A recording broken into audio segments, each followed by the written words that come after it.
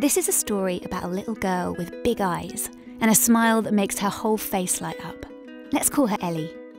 Ellie is a playful little girl who loves to make up stories and pretend she's someone else, like a big dragon with fiery breath. But Ellie is not like other little girls. Sometimes Ellie has huge feelings and can scream for hours and hours. Sometimes she gets so frustrated she feels as if she's going to burst. And sometimes, only sometimes, she'll get so angry she'll lash out at people close to her and tell them she hates them.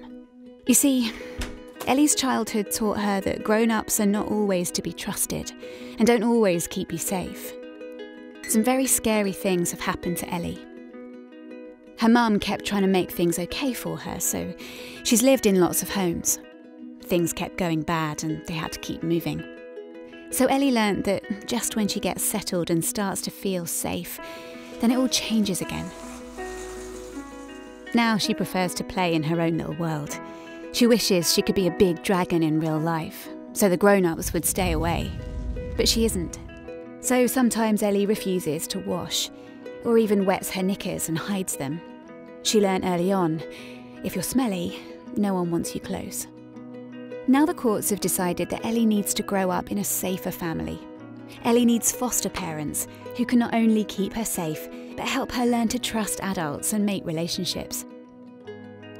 Family Futures foster parents are specially trained to take a therapeutic approach to support children who've had traumatic childhoods.